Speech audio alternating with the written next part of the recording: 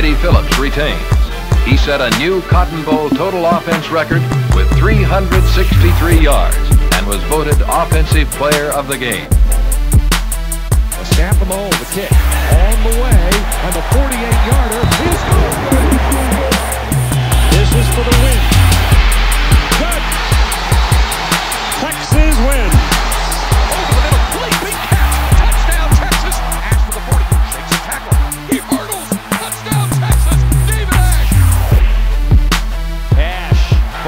He's good.